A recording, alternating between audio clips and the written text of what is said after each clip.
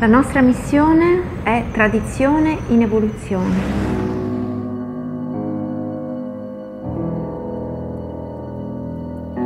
L'arte è esprimere quello che hai dentro. È trasmettere un'emozione negli oggetti che si creano.